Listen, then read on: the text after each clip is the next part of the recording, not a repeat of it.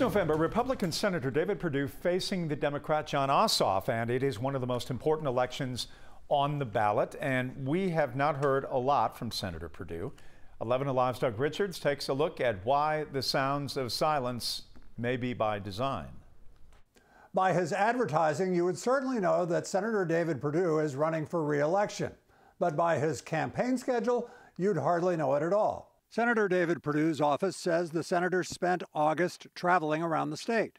They document Perdue's visits with photos in news releases sent out after his events have concluded. Senator David Perdue. Perdue rarely sends out a schedule in advance. When he has, as for this event in April 2017, he sometimes draws noisy protesters. In fact, Caroline Stover is among those who regularly protest outside Perdue's office in Buckhead. I have not met or heard of anyone who's had face to face time with Senator Perdue. How long have you been trying to see David Perdue?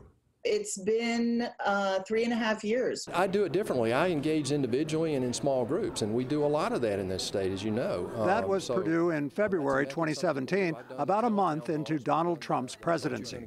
Perdue had become an outspoken supporter of Trump's policies. He drew protesters then. Trump's policies drew protesters this week at events held by Georgia's other Republican Senator Kelly Loeffler. Unlike Perdue, Loeffler has announced campaign events in advance and encouraged attendance. Loeffler's Twitter site even showed protesters inside another of her events Thursday. Can you blame Senator Perdue for wanting to avoid circumstances like that?